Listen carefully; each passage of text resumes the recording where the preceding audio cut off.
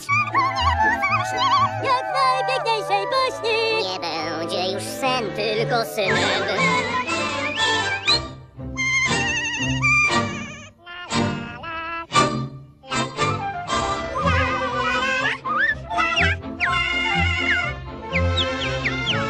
No dobrze.